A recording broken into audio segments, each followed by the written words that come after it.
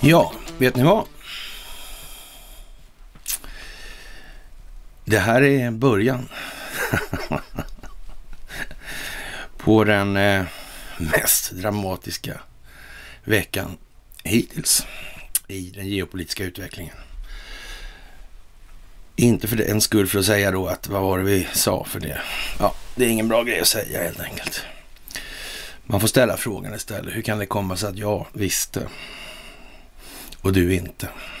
Vad beror det på egentligen?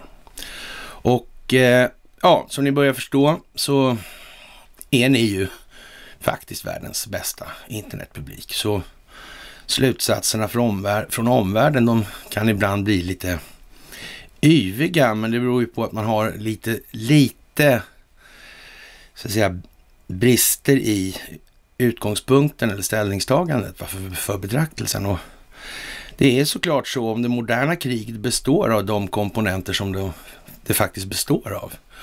Ja, då blir det ju lite tokigt om man tror att det är Rothschild eller rymdödlor eller vad det nu må vara för några obskyra varianter. Det är inte religioner och sånt heller.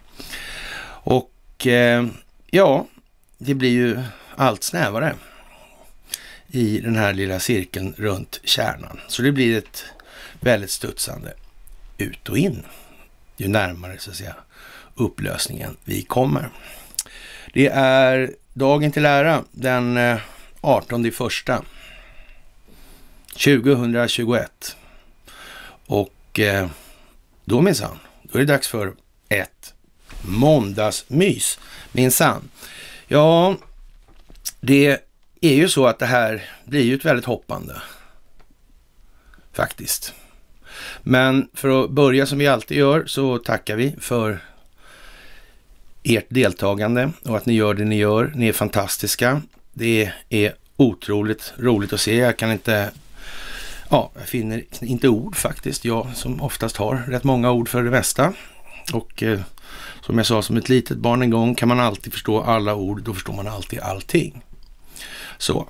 Och eh, ja, farmor tyckte det var begåvat sagt. Jag begrep väl inte hur begåvat var då kanske. Det var så bara.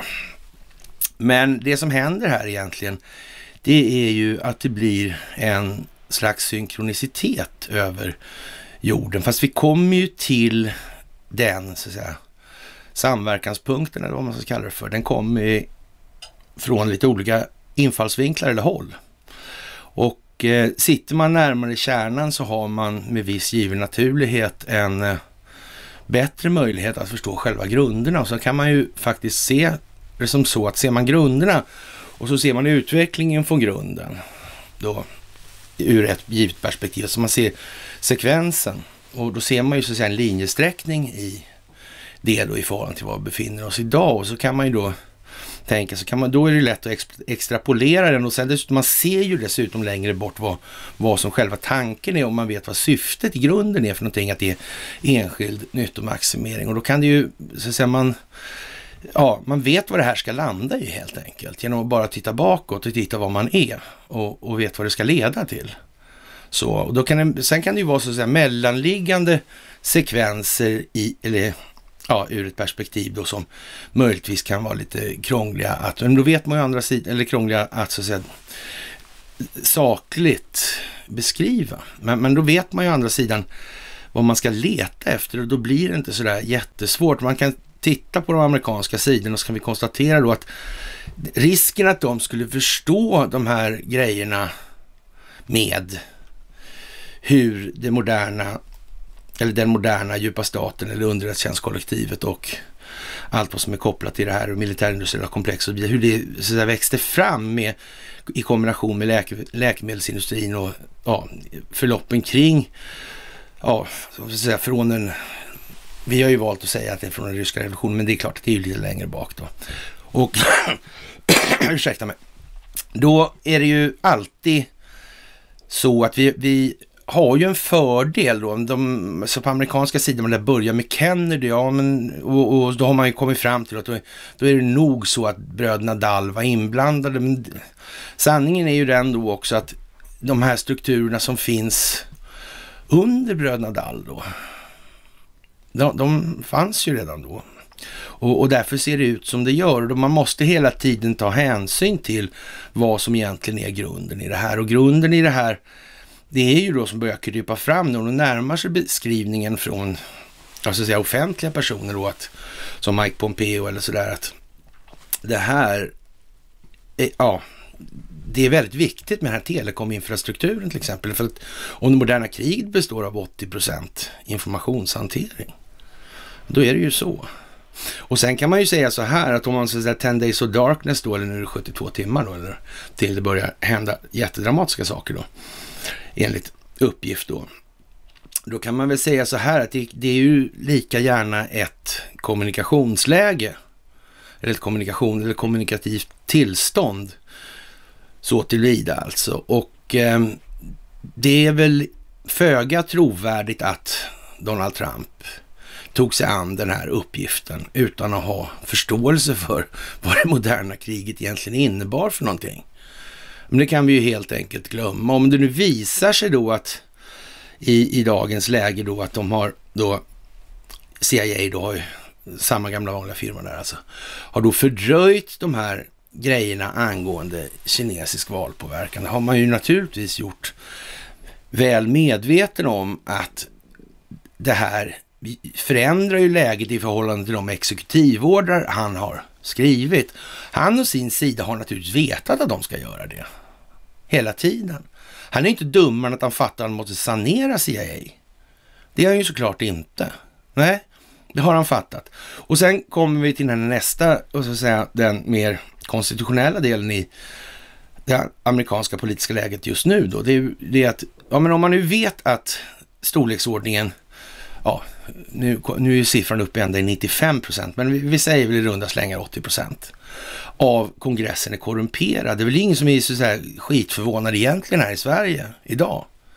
Om man säger så här, nej men 80 procent av alla jävla politiker i det här landet, som, eller i riksdagen då, de är helt korrumperade. Men det räcker naturligtvis inte. Det skulle ingen lyfta på ögonen åt alltså. Det finns ju en del romantiker som tror att Sverigedemokraterna fortfarande är någonting annat än vad det är. Men det är återigen det här, det handlar ju någonstans också om att våga ställa sig upp då och stå för faktiskt det man säger. Och man, det, det ger inget så att säga trovärdigt intryck att sitta eller stå eller agera då på ett sätt där man så att säga säger sig vara emot globalismen och sen samtidigt inte adressera det som alla svenskar idag i princip börjar inse är en globalistfamilj som inte precis spelar andra fiol. Alltså att missa det helt och totalt flagrant under så lång tid, det är helt enkelt inte trovärdigt. Och då är det så att man har missat det, ja, så att säga, ja, rent intellektuella prestandaskäl då kan vi ju hovsamt uttrycka det som. Ja, men då i så fall då, då är man ju i alla fall, ja, då är det klart för lämpligheten i alla fall. Då ska man helst inte leda någonting annat än sig själv knappt. Då. Och eh, där står vi ju naturligtvis. Vi har ju det amerikanska läget då, så att säga, det kommer att sprida ut sig globalt i det här. Det finns liksom ingen diskussion. Det är därför som Peter Kadhammar gör sådana här litanier som man gör idag i Aftonbladet. Men återigen, det har suttit stackel på länge alltså och eh, det är föga troligt att regin bakom bilden på Jacob Wallenberg framför regeringen, den hade nog faktiskt strategerna på, i Vita huset koll på, helt enkelt. Det är bara så. Och eh, ja, man gick knappast in i det här med så att säga, ögonbindel och var blind. Det tror inte jag på. Och det kan jag säga så här, det borde inte ni heller tro på faktiskt. Utan det här är en enorm, jag har sagt det många, många gånger, alltså en enorm planläggning i de här frågorna. Och så kommer det ju, nu börjar det bli spekulationer där och hur det kommer sig att man kan veta de här, här sakerna. Men det är ju just det, att har man haft insikt i de här systemen till stor eller liten del eller någon del och sen så att säga har upplevt utvecklingen, då kan man också göra så att man ser var det har börjat, man ser hur det har utvecklats. Man ser var vi är och befinner oss. Och utifrån alltså säga, drivkraften i den här utvecklingen så ser man också var det här ska landa. Man kan, annars kan man ju bara så att säga, extrapolera de här två punkterna nu och då. Och sen så ser man var den landar. Men nu landar ju den alltid på samma ställe. Så det är ju liksom inte mer. Och det är ju som sagt, och då är det ganska lätt att göra sådana här ja, bildspel eller vad man ska säga. Det är bara att koppla in de här personerna som visar sig då vara ett otroligt fåtal. Man kan ju liksom inte, ja, man blir ju inte förvånad. Det är ju dem. Det är samma man letar efter hela tiden. Det är bara så. Det är Sjöqvist-varianten. Och eh, det är väl tveksamt kanske om eh, Jönssonligan och Åsa-Nisse de här faktiskt hade... Den senaste Åsa-Nissen där har ju definitivt eh, en stark anstrykning av förståelse för vad det här är för någonting. Men det är frågan om de här gamla historierna med John Elfström och eh, så vidare. Om de verkligen... Men visst, det må ju vara så. Det fanns folk på 30-talet som förstod det här långt mycket bättre än flertalet av den svenska befolkningen gör idag. Så är det också. Vi eh, kan ju se då att det här färgar av sig ordentligt, det vi gör. Och eh, ja, det har ju varit så länge, länge, länge. Och eh, ja, det, det är väl inte... Alltså det är inte särskilt svårt om man har haft lite insikt i det, faktiskt. Och här i kärnan är det ju som det är då. Det är ju, när man väl ser det så är det ju ännu lättare.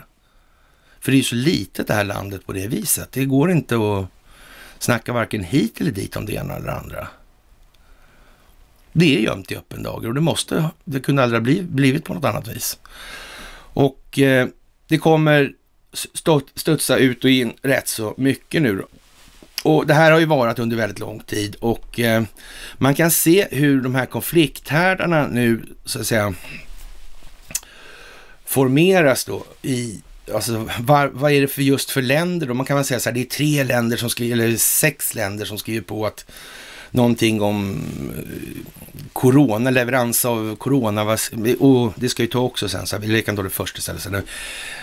Det här med covidiotin har ju varit en tanke som en scapegoat då ur så att säga, ett antal eller ett par olika perspektiv i alla fall. Och, och det i sin tur innebär ju då att den där kommer de ju höka på så in i helvete.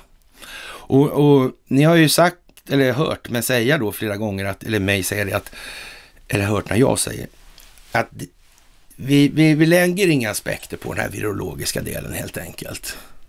För vi vet ju liksom, det är ett minfält det är ett minfält alltså. De kommer nypa direkt när det är så. Och vi har redan blivit av med två YouTube-kanaler och en uppsättning Facebook-konton och sådär. Så det, ja, det är onödigt helt enkelt. Och sen kan man ju säga så här också med avseende på den här bilden på Donald Trump, eller Jacob Wallenberg bakom Donald Trump, så kan man väl säga så här också. Och med avseende på då att eh, Mike Pompeo, han blev aldrig avstängd från Twitter överhuvudtaget och eh, Donald Trump är tillbaka på Facebook och Twitter och så vidare. Och det är ju inte så att Facebook och Twitter och de här klarar sig skitbra utan telekominfrastrukturen. Det gör de faktiskt inte. Det är licensavgifter och sånt som gäller. Och har man dessutom hållit på och fifflat med då, ja, brott mot amerikanska konstitutionen och såna här grejer. Då kan man säga så här, då har man rätt så taskiga argument för att hålla emot när någon kommer och säger att den vill ha sin vilja fram och anföra det här och dessutom råkar vara amerikansk president. Då är det en mycket svårhanterlig situation som har uppstått. Faktiskt. Inget drömläge, kort sagt. Och eh, när de här länderna då, de här, eller så att säga, oroshärdar, vad man kan säga, politiska fälten då, hur ska jag uttrycka det som, då, de uppstår någonstans. Och då kan man säga att det är sex länder då, det här Pfizer-vaccinet då till exempel. Och det är ju liksom rätt givet då att det är ju då eh, Sverige, Danmark, England och Baltikum då, Estland, Lettland och Litauen. Såklart alltså. Det är ungefär samma som alltid, faktiskt alltid samma som skriver på typ när det gäller något med Assange. Och det är heller ingen slump såklart. Och därför att när det blir så här flagrant upp öppet, alltså det är exponerat på det viset. Då måste man nästan tänka så här, nu är det någon som har tänkt till här. Faktiskt. Varför är det alltid samma länder som så att säga söker samma riktning i det här? Och där har vi det alltså. Och sen får man tänka efter, vad är det jag ser nu här egentligen? Va, vad kan det vara för någonting? Och så kommer man ihåg lite, vad hände på sidorna? De, alltså intilliggande perspektiven då. Ja, och så tänker man, vad hände vid den här tiden egentligen? Hände det här till exempel när eh, ja, någon tog befäl över Ericsson eller eh, det är en bra hållpunkt alltså, om man säger så. Det är mycket som händer där alltså. Inte bara vi som startar YouTube-kanaler då, om man säger. Faktiskt. Det är så viktigt att komma ihåg att för att få ett djup på perspektivet så måste man ha vidd. Liksom. Det är som en sån här avståndsmätare som man använder när man ska skjuta in direkt eld eller så, eller man, vad man nu ska göra. Om man är skyttespaningssoldat eller sådär kanske. Ja, ja. Hur som helst, det är de klassiska länderna där det finns ett enormt investorinflytande som, där det strular sig alltså nu, där det blir politiskt instabilt. Och det kan man ju inte tycka är någon sån här jättesensationell upptäckt egentligen. Man förstår ju att det måste ju vara så. Om, givet då att man tror att då telekominfrastrukturen är viktig för, för det moderna krigets förande alltså. Och, och det är ju ingen, ja. Och, och dessutom är det så, så, dumt gjort då, eller dumt ska man inte säga, men alltså kommunikativt eller kommunikationsmässigt, alltså ja, man, måste ju ändå så, från den sidan då signalera vad som är vad här i världen och då, då blir det ju lite sådana här äh, symboler, det blir lite kryptologi och det blir lite sånt. va.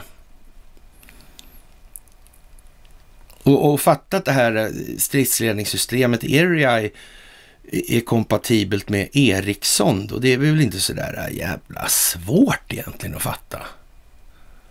Kan man tycka. Det är bara att slita isär det jävla ordet ju. Så står det ju nästan med rak text då. Och eh, hur som helst, det är Investor och Investor och Investor hela jävla tiden. Och det kommer vi tillbaka till idag, det är alldeles säkert. Omvärlden ligger inte där riktigt i fas. Ni är jordens bästa internetpublik. Så är det bara. Och ni förstår vilken uppgift som ligger framför oss i det här. Det är inte så att Peter Kadhammar, Anders Lindberg, Wolfgang Hansson, Marcus Oskarsson och så vidare, de kommer inte göra några heroiska insatser för att folk ska hamna i synkronicitet och förstå varandra och känna samhörighet i den förståelsen. De kommer inte att bidra till det. Punkt slut. De har tecknat in sig, alltså det är som Robert Aschberg till exempel också. Ja, men han har tecknat in sig ända upp till hårfästet alltså. Det är bara så. Det finns ingen liksom, nej. Det är stopp där.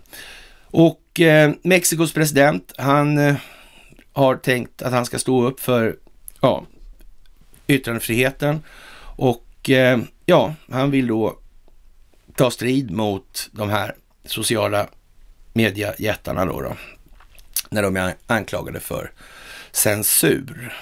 Och eh, censuren är ju vad den är då. Här i landet så har vi ju en historia av censur som heter duga. Med Erik Wilander och Statens informationsstyrelse och allt det här som vi har skrivit om hundra miljoner gånger. Och eh, det är egentligen så att det mesta av det här, det har vi kört det som kommer nu. Det har vi kört ut och in och fram och tillbaka, upp och ner, hit och dit. Så. Och det är bloggen som ni fördjupar er på, använd sökrutorna där. Det är nästan omöjligt att inte hitta många sidor med artiklar i de här grejerna faktiskt. Det kommer otroligt mycket den här veckan med all sannolikhet och eh, huruvida Donald Trump blir den, ja så att säga, han är 45 procent, eller 45 presidenten, men det, det, kan man ju säga så här, det, det finns ju möjligheter för att Joe Biden ger sig och såna här grejer också. Det, det, finns lite olika perspektiv, men trots allt nu så är det ju så att det är ju undantagstillstånd mer eller mindre, eller kristillstånd eller, i Washington DC och man lastar dit alltså mycket substantiella mängder personal och materiel. Och Eh, det här med att Joe Biden ska bli mördad, det är det är ju inte så att Donald Trump fattar att det skulle vara lite olyckligt. Det skulle ju vara lite tokigt kanske. Så man, man kan väl säga så här, det har de rätt så bra koll på. Det är liksom inga sådana missar gör de inte strategiska planerare på den nivån. Det finns ju inte på en karta ens. Inte en chans, helt enkelt. Och eh, ja, det är ganska så avslaget i Washington som det ser ut. Och det är rätt mycket militär på gatorna. Och där kan vi lägga till som en liten detalj, så här, jag tror de har lagt in en liten symbol där med alla de här vita fordonen. Det är lite kul alltså. Vita fordon militärt sett, de anses ju som då till exempel sjukvårdstransporter och så här. Och eh, vita bussar har vi ju en viss kännedom om här i landet och vi kanske ska dra den liknelsen, eller så att säga, med den vinkeln också. Det kan ju lite vara, en, var lite av en peak också i de här sammanhangen. Det behöver ju inte betyda att alla amerikaner är så historielösa som jag nästan gör gällande från början. Så, så behöver det inte vara. Och, och, men samtidigt är ju det också på det viset att om man tänker sig då att den djupa staten i USA, i Washington då, eller träsket, ska sitta och planera strategiskt. Och nu är det ju för så, i och för sig så här, nu är det ju det är kvantumdatorer alltså som håller på med de här beräkningarna. Och det är kvantumdator mot kvantumdator som håller på. Det är så. Och eh, man ska väl säga så här lite ärligt också, så när Kina erkänner att de har en som är 600 biljoner gånger snabbare än vad det var för någonting, det var ju rätt mycket alltså. Ja, då kan man väl säga så här, ja om Kina har problem med djupa staten och Kina måste få, eller måste ha en situation där den djupa staten i USA är hanterad. Då kanske de har lånat ut sin dator, vem vet?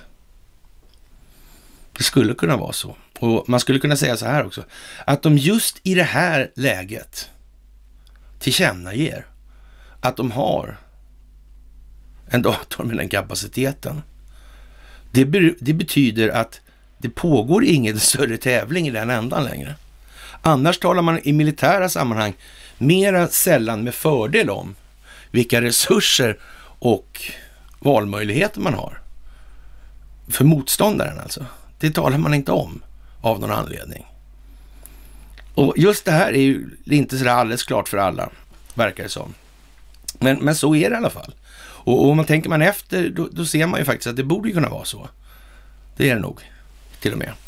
Och eh, ja, det är ju lite sådär eh, halvkorkat att försöka mörda Joe Biden. Det kommer inte att ske och sker det så är det en, en del i en större planering också. Det finns inga sådana där halv... Det här, allt det här handlar ju om att, så att säga, ha en tidsmässigt djupare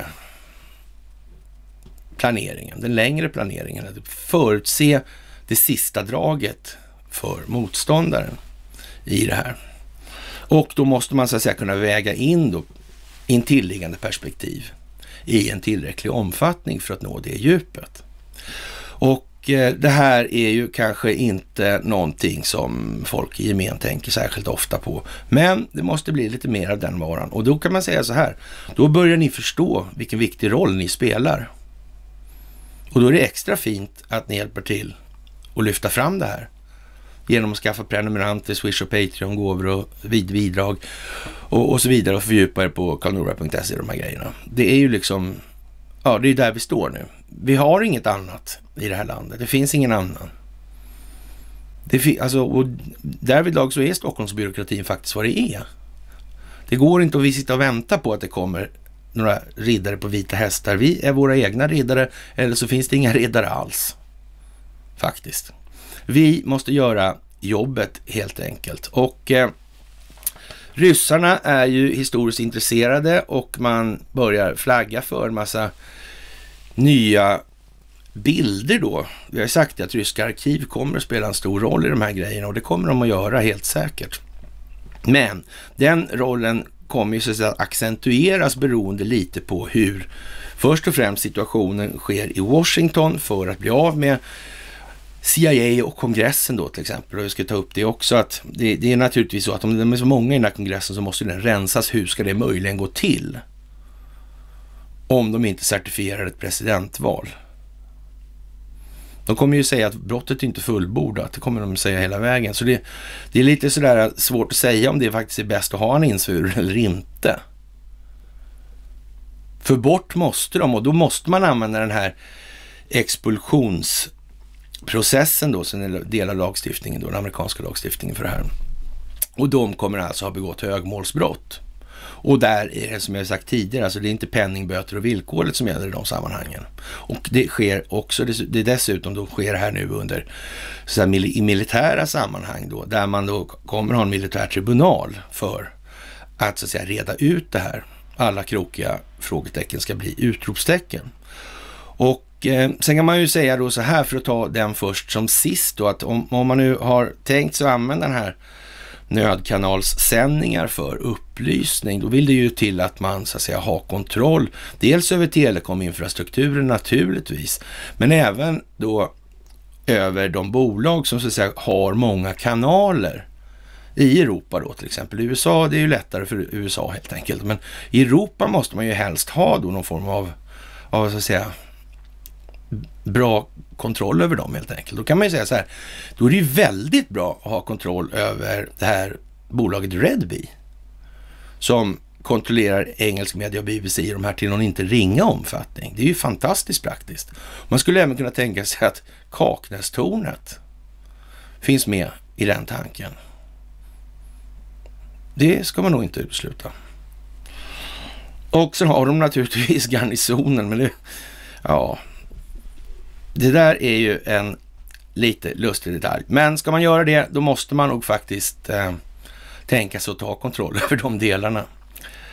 Och eh, ja, vi kommer avslut, när vi kommer till avslutningen kommer vi kunna konstatera att nu idag så övar då polisen i Stockholm då för att skydda samhället som man säger, skydda samhället. Men, men det är återigen det här, vi, vi ska inte helt stirra oss blinda på att då liksom att det är då Hultqvist och Löfven och det här gänget som faktiskt försöker försvara det gamla. Det, det, är liksom inte riktigt, utan det här får vi nog nästan väga över till att det pågår en form av utbildningsinsats även här och den är naturligtvis påkallad av det enkla faktum att Investor är kärnan i det här. Men de kan ju inte ha en hjärndöd kärna runt, det går fan inte alltså. Då kommer de barrikadera sig förr eller senare och inte släppa in någon. Det, det är bara så. Men så långt tror jag nog faktiskt den strategiska planeringsdetaljen inom Trump-administrationen klarar av att tänka själva utan att få liksom heja på från oss, eller mig kanske då.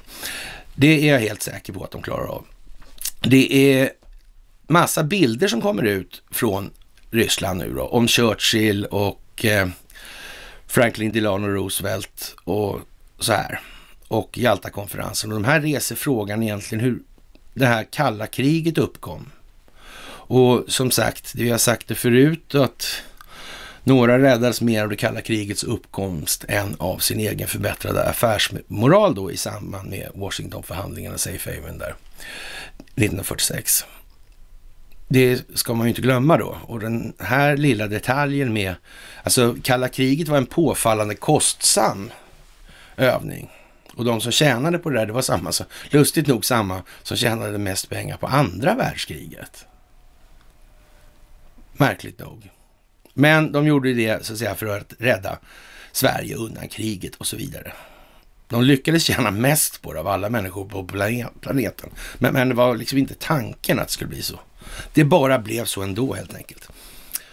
ja, och eh, det kan man ju tycka vad man vill om möjligen. Och eh, vi har så att säga svävat tillbaka lite grann i det här och tycker väl att det är lite speciellt då med de här gamla klippen som var då när Donald Trump och Stefan Löfven höll olika så att säga gemensamma tillställningar. Och eh, ja, vad ska man säga? Det har ju sagts en del saker från Donald Trumps sida i det här och att han inte är medveten, om det kan ni bara glömma liksom fetglömma. Han vet exakt, jätteexakt till och med, vad det här är för någonting.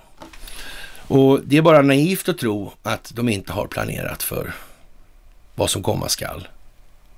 Och har de inte det, då är det så jävla taffligt gjort. Så då hade vi klarat av det bättre själva, ni och jag. i en gymnastiksal med en internetuppkoppling. Och, och det, så är det inte alltså. Det är helt omöjligt. Helt omöjligt. Faktiskt. Ja, vad ska vi säga? Det är, blir ju lite sådär halvtypiskt i tiden då när de här beskrivningarna i USA sammanfaller med de vi har haft under väldigt, väldigt lång tid då i de här sammanhangen. Och vi har ju vetat då väldigt länge vad det här måste leda till i, där, i den delen. Och när, nu kommer Mike Pompeo och säger då att telekominfrastruktur, och så är det naturligtvis alltid kinesernas fel. Det, och, men det som jag sagt tidigare, det måste vara kinesernas fel. Det blir för svårt om det ska vara djupa staten. De amerikanerna har ju precis begrip, begripit att det finns en djupa staten. Nej, men nästan i alla fall då. Sådär. Och, och, och sen är det bara ja, skrik och skrän kring det i alla fall då. Så det är, lite, det är lite för långa steg helt enkelt. Det räcker inte. Det får bli kineserna så länge helt enkelt. Men det är naturligtvis så att det kommer gå snabbt nu. Det kommer att bli den djupa staten i Kina och vi ser redan exempel på det i vad som sker nu med då, alltså så kinesiska statens förhållande till Alibaba och Jack Ma till exempel. Och Jack Ma är ju inte själv där. Alltså, där finns ju den här andra då, eh, Josef Tsai. Och eh, sen har vi då en extra direktör i Alibaba. Det, det, det, är inte riktigt trovärdigt liksom att det är samma direktör där som är direktör när han är i USA för ett telekombolag som heter Ericsson. Och som dessutom säger i svenska medier till politiker att han är nere i brygga i hemlig korrespondens där då. då. Mm. Och därför kan man säga så här, att det, det pågår ju alltså, jag, jag har ju sagt det många gånger nu här, att det här är ju liksom det största så säga, folkbildningsprojektet i mänsklighetens historia och, och, det måste ju naturligtvis även göras här då. då. Och eh, vilka är bättre då än att, att sköta det och så att säga, därför ser man ju också den här, ja, någon form av ah, tafflig vändning då, eller vad ska jag kalla det för det då? I Expressen och eh, samtidigt som Kadhammar och de här gasar ju på för att det inte ska se märkligt ut då. Och där får man göra så att säga den bedömningen då, vad är liksom rimligt här egentligen? Vad, vad är en ja, sannolikhetskalkyl? Hur ser den ut egentligen här alltså?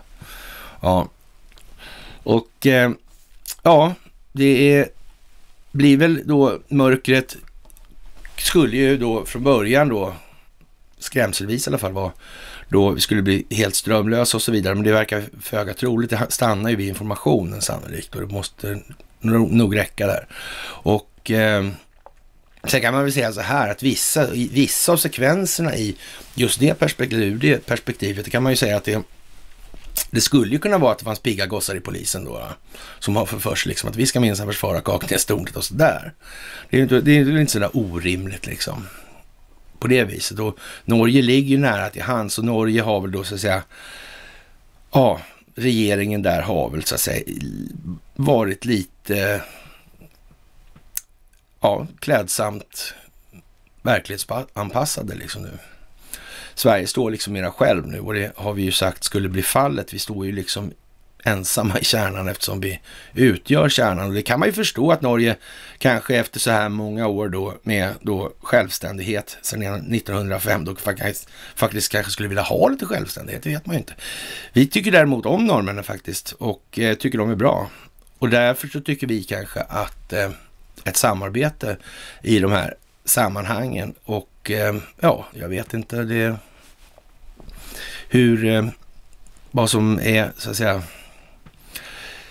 befolkningsmässigt mest comme få eller sådär. Alltså det, det, är svårt att bedöma. Alltså men så att säga rent ekonomiskt och så i de perspektiven så är det ju så att då skulle vi nog tjäna på att samarbeta i de här och speciellt då in, inom eller tillsammans i de här länderna där man så att säga inte har en republik utan har de här jävla marionettkungarna liksom som, eller kungahusen och vi måste naturligtvis konstituera om det här.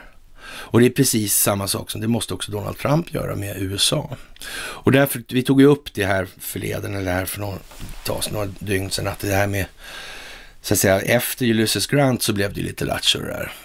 helt enkelt i USA. Och eh, på den vägen är det. Och då kan vi dessutom ta upp det här med vad, så att säga, det är många som fastnar på det här med att det liksom är, ja, Amerikas förenta stater och sen blev det då företaget då i någon okänd bolagsform som ingen liksom riktigt har klart för sig då med aktier och sådär och de regler som gäller för aktiebolagslagen och så.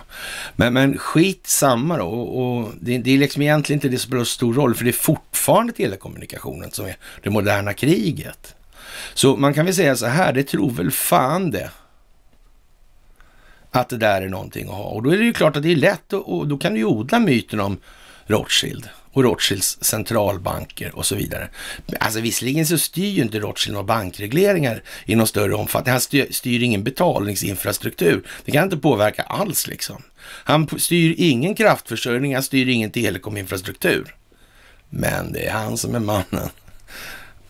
Man skulle säga tacksam kuliss, den tror jag vi behåller. Ni kan få lite pengar om ni håller käften också. Och så slipper ni bli mördade dessutom. Ja, ungefär så.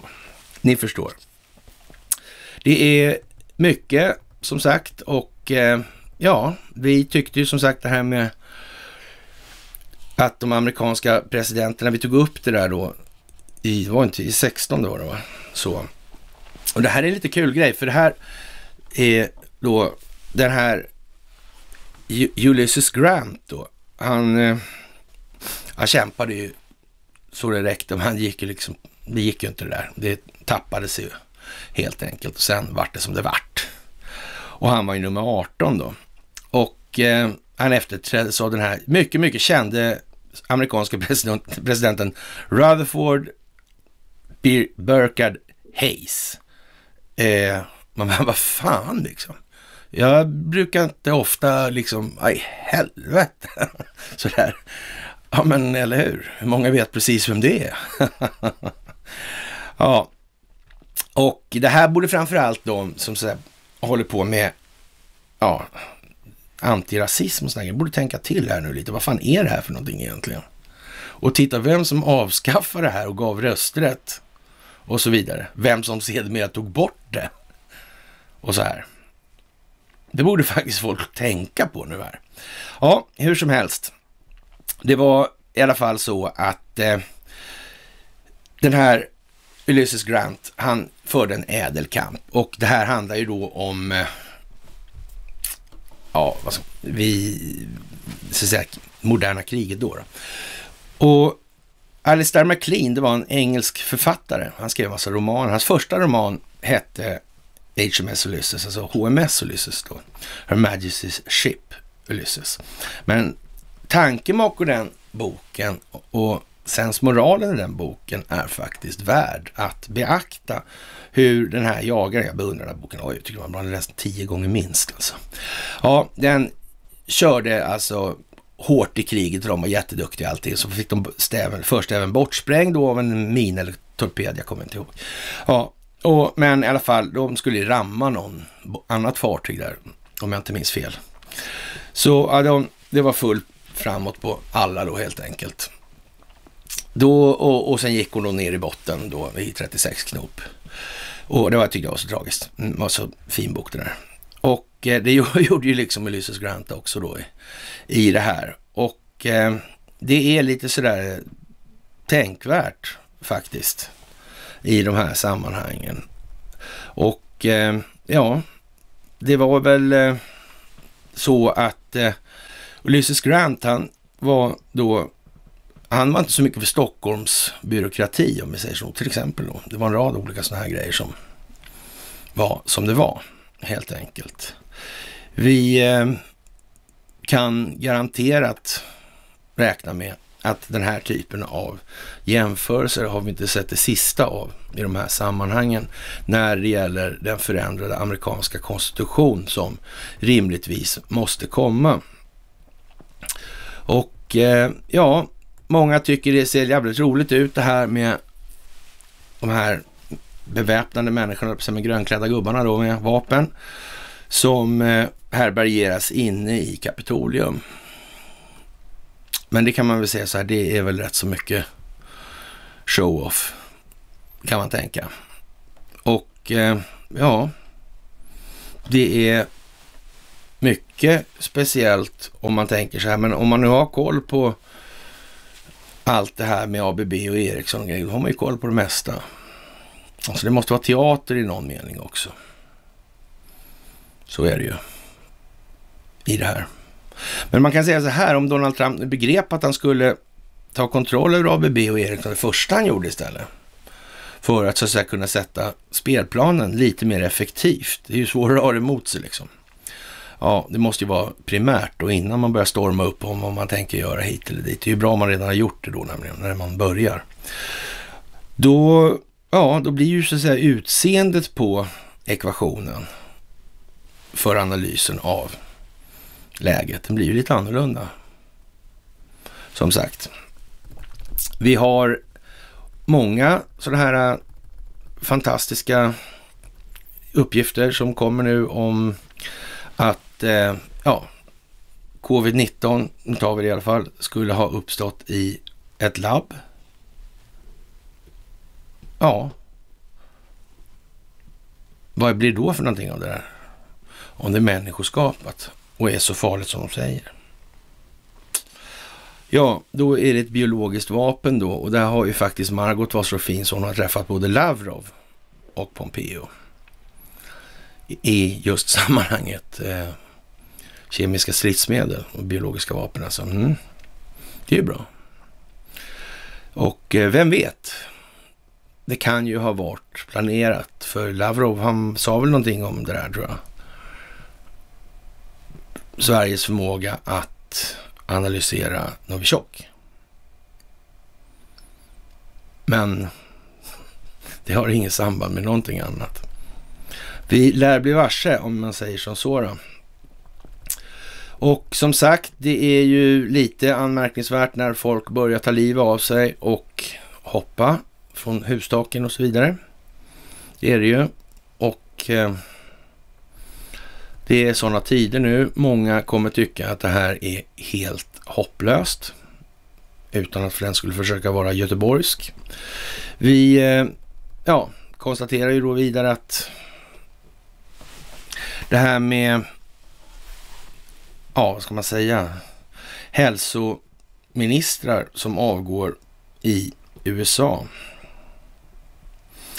I det här läget så kan man väl säga så här, för att lugna den djupa staten så har man nog en och annan nyckelposition med människor som egentligen inte borde sitta där, men för att så att säga inte väcka den björn som sover. Så låter man dem sitta och spela efter det så att säga. Och nu när man så att säga, ungefär som en, en förrädare avslöjar sig alltid på sista då, då. Men det här måste man ju ha klart för sig. De farligaste förrädarna kommer ju sist alltså. Ja, men man kan ju vända på det också då naturligtvis. Vi låtsas som inte vi vet att du är en förrädare, såklart. Ungefär som man gör med, ja, så att säga, ja, de här spionbyråerna gör då. Man, man talar ju inte om för Gud och hela världen, nu har vi tagit en spion liksom. Man har ju, använder ju honom istället för att försöka få honom då ett dubbelspel i det här då, då.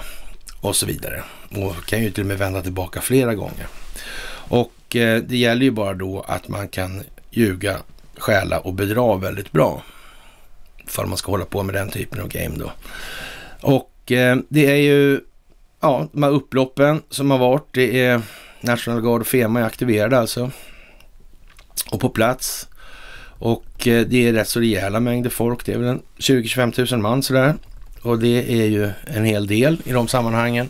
Det är ju som sagt inte så att det kommer då ett antal pansarskyttebrigader rullande in och ska ta för sig här nu.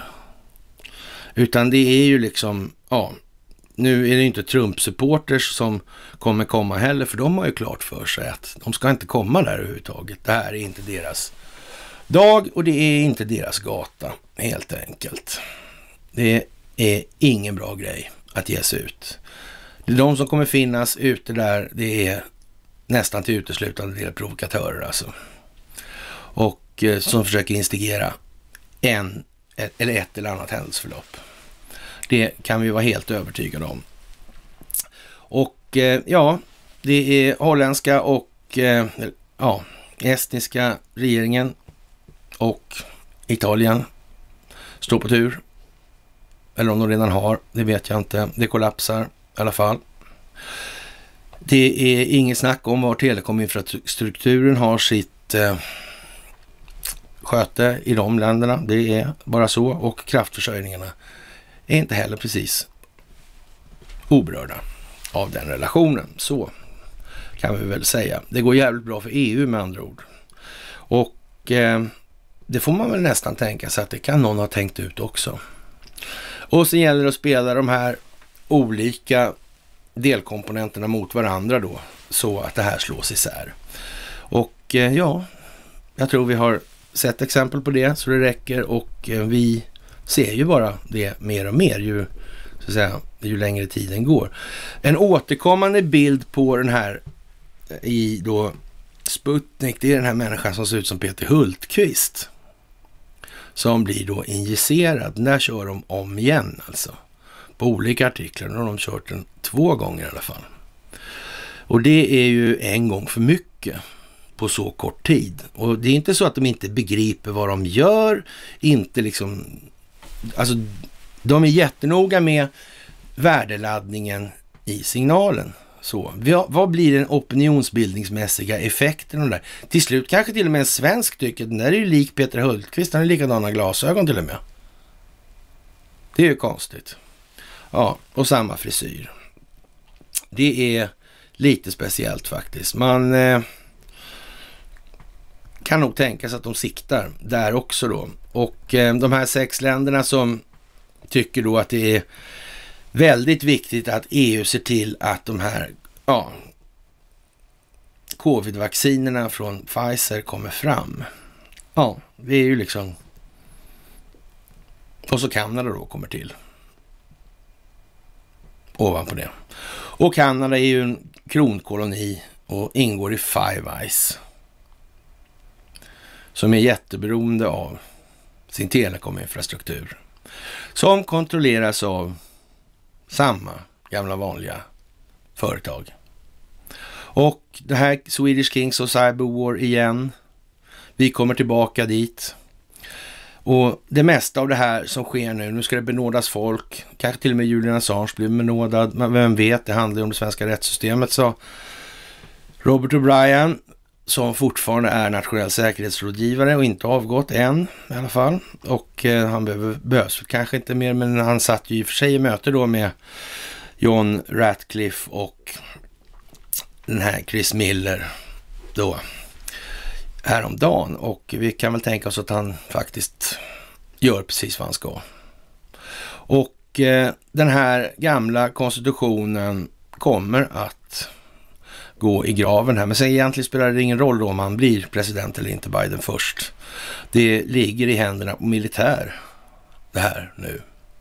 Det behöver bara utvecklas lite till så kommer de skydda den konstitution som har varit. Så.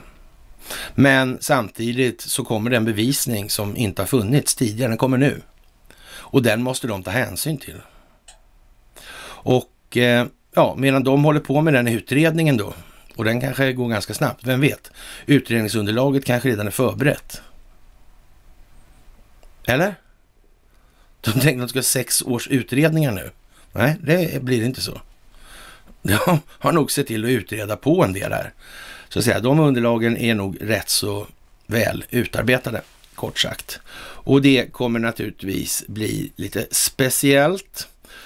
Ja, vi får väl eh, säga att det rullar lite lutar och eh, ja, Sverige blir vad det blir nu helt enkelt och USA kommer att förändras. Vi kommer alltså också tvingas att förändra vår konstitutionella, eller vår konstitutionella grund. Det här duger inte, det här är skapat för att upprätthålla den institutionaliserade korruptionen inom Stockholmsbyråkratin. Marionettkungen fyller ingen som helst fun annan funktion än att vara ett garnityr för det här, kosmetika, smink på grisen helt enkelt.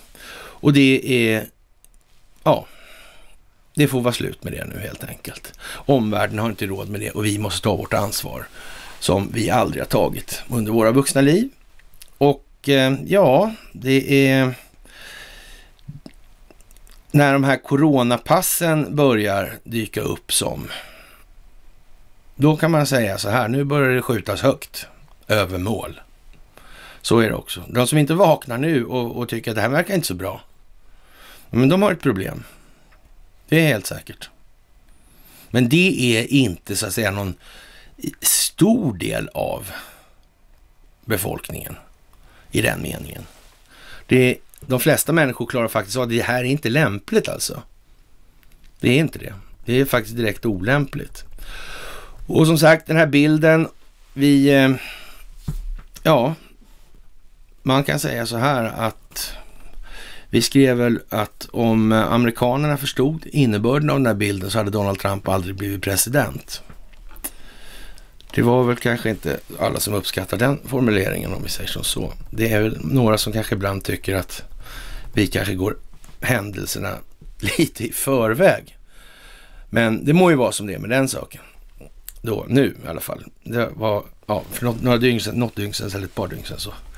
Ja, då var det lite stelt och tråkigt på sina håll. Då tyckte de man kanske att vi skulle ta och dämpa oss lite här. Och inte sitta och tala om allting på förkant, eller förhand. Sådär. Och ja, som sagt, konspirationsteoriernas politiska återkomst. Kent Werner kommer naturligtvis i en artikel i Expo. Kent, både du och jag vet hur det uppstår bråk. Det är när det börjar cirkulera skitsnack. ja, ja Kent, du får se vad som kommer helt enkelt. Och eh, det där var inte rimligt alltså. Det var riktigt dumt gjort av Kent. Och eh, ja, som sagt, jag tror faktiskt om man ska vara ärlig, inte ens förra gången när det var på tapeten då, det här med på tv där, på TV2. Och han satt och sa att jag inte var någon, ja, privatperson eller sådär, utan jag var en synnerligen offentlig person eller hur han uttryckte det. Jag har en känsla av att det där kommer han få äta upp ordentligt.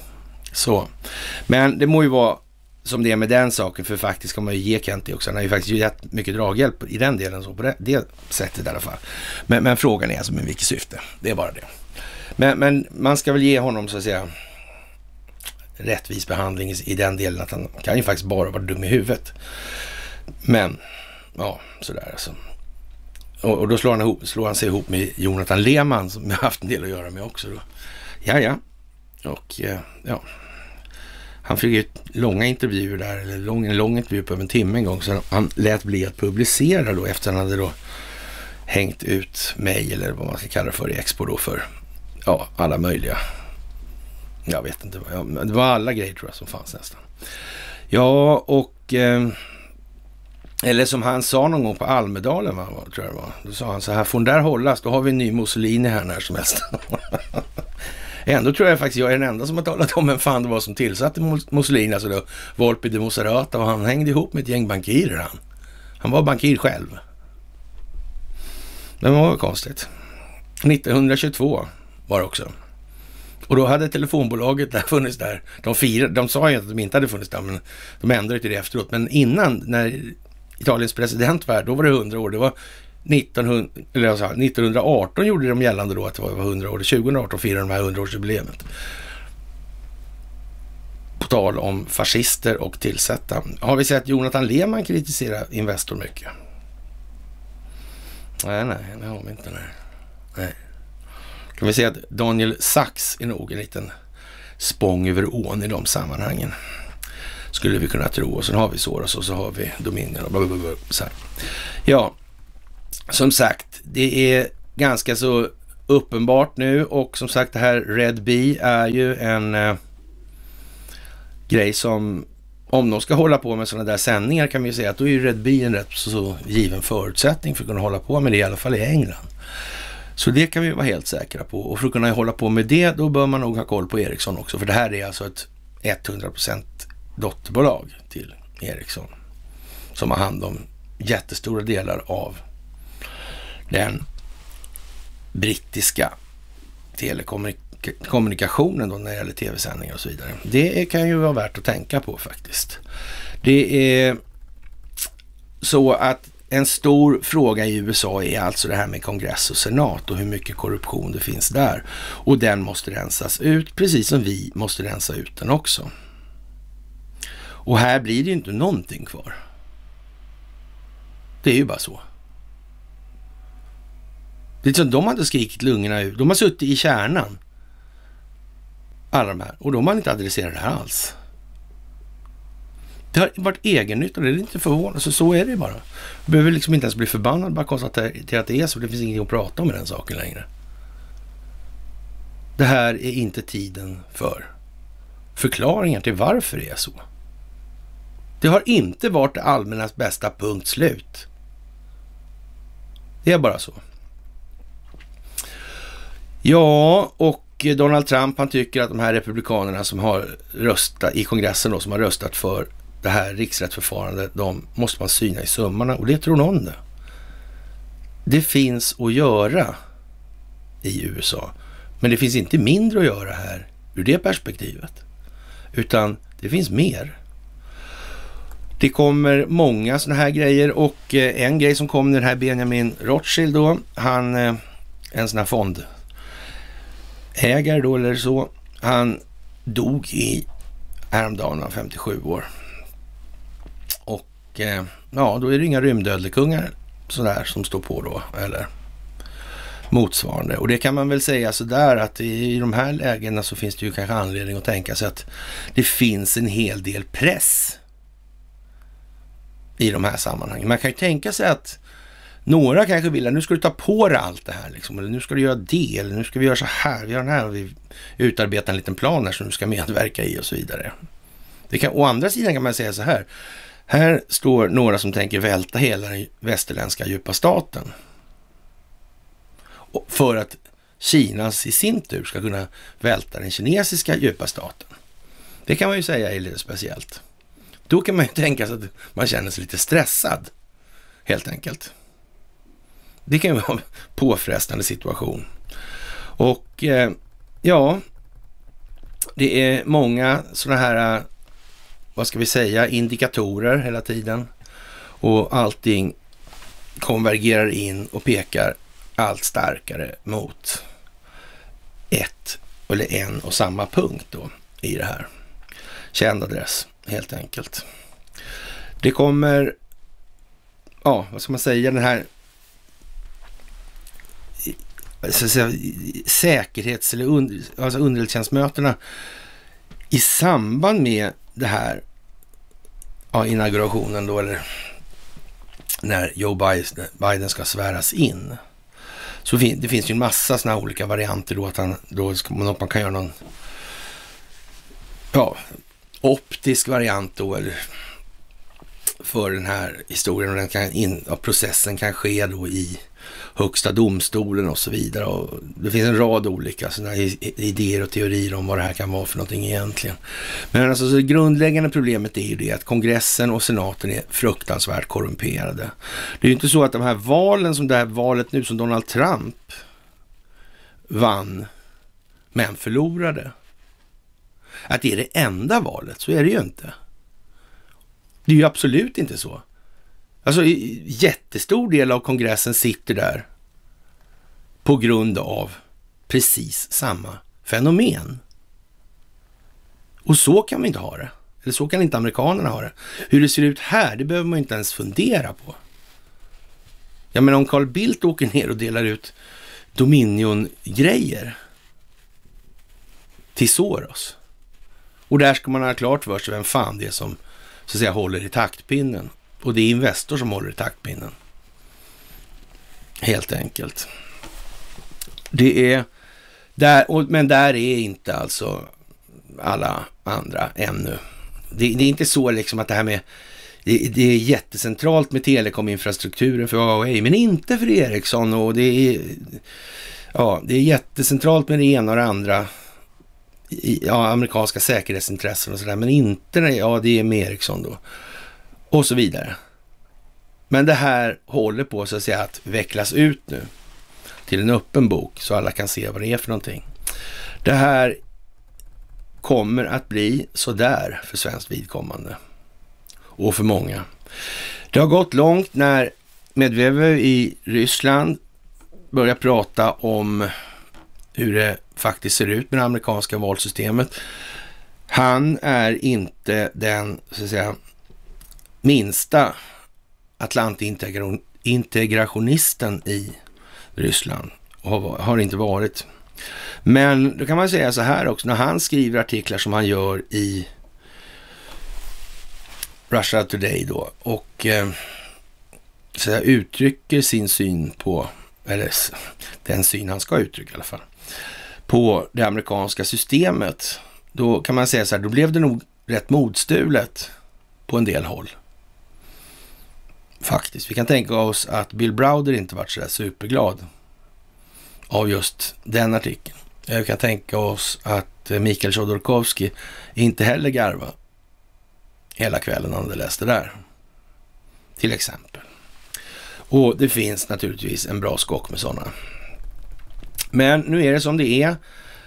Kreml vet att spela schack och de gör sina insatser och åtgärder och startar förlopp i koordination med Kina och USA. För annars skulle inte det här fungera alls. Helt säkert. Det är alltså ingen tillfällighet att Xi Jinping står till mot Jack Ma. Eller slår till. Jack Ma försvann helt enkelt. Han ville ta det lugnt och tänka efter. Naturligtvis.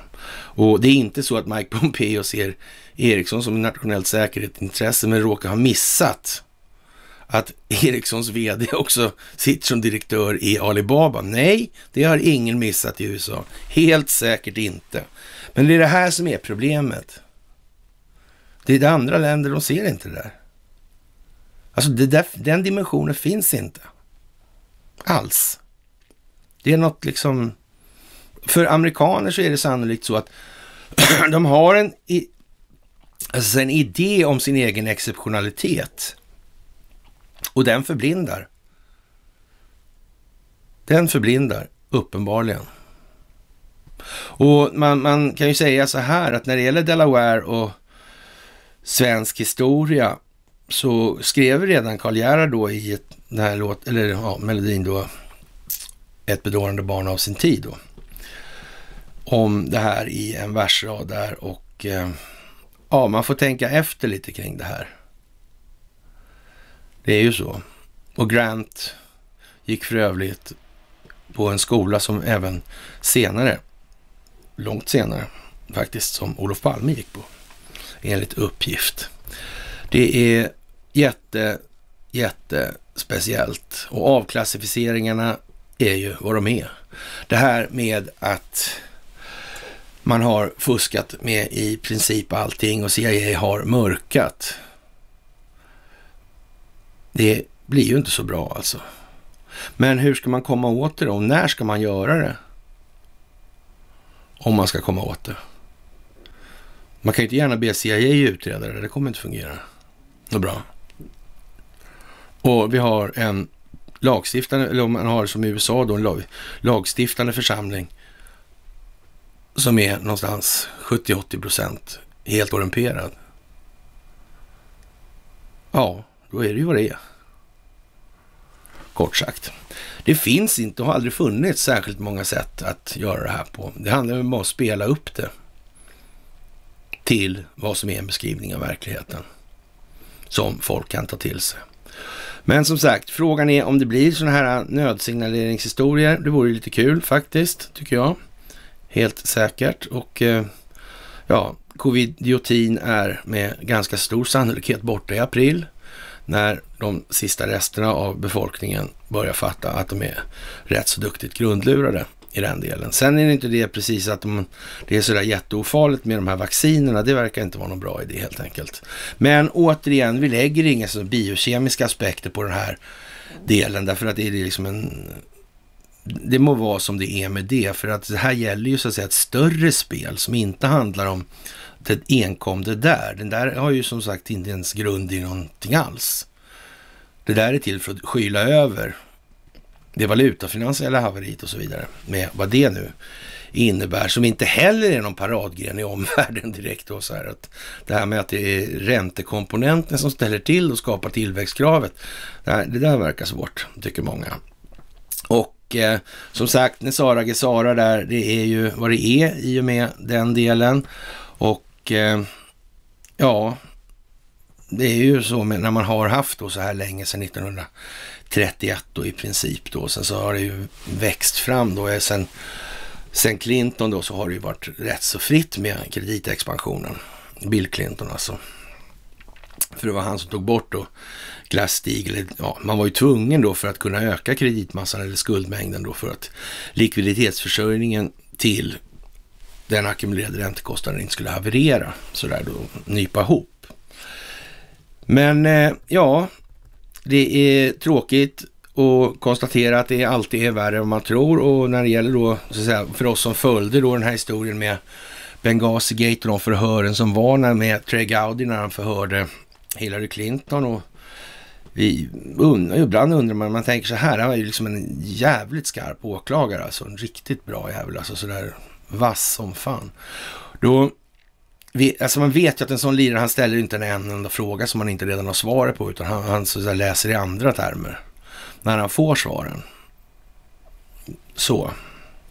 Och utifrån det kunde man förstå då att han, man vet ju massor mer liksom. Men varför i helvete inte ta det då? Nej, det var av det skälet att det här var mycket större, mer korruption. Om någon hade frågat mig 2016 hur stor del, andel av kongressledamöterna tror det är korrumperade? Ja, på den tiden hade jag inga som helst illusioner om, när det gäller Sverige, jag hade sagt 100% rakt av, alltså. men när det gällde USA liksom. Ja, han sitter ju åtminstone där och frågar. Det, och han är ju i kongressen, så vad fan liksom. Ja, men vad vet jag, liksom, kanske jämnt. 50, 40, 50, 60 procent. Inte 60 hade jag inte sagt, nej, men 30, 40, 50 kanske jag hade sagt i, i bästa fall. Inte som nu. Inte en aning. Det visar sig alltså att Biden, Hillary och Obama har mer eller mindre låtit mörda det här SEAL Team 6. Eller rättare sagt, de har dödats med deras goda minne. I alla fall, och det är förräderi. Det är förräderi. Men då är det så att Barack Obama har utfärdat någon form av ansvarsfrihets historia i det där på slutet, och en benådning då. Men det vet vi som sagt inte hur långt det håller i så att säga, rättsliga sammanhang egentligen. Det vet vi inte, kan inte heller vara säkra på. Kan man göra så egentligen? Man kan ju inte förlåta vad som helst liksom. Det verkar konstigt. Helt enkelt. Men det är som sagt inte vår sak att döma av det.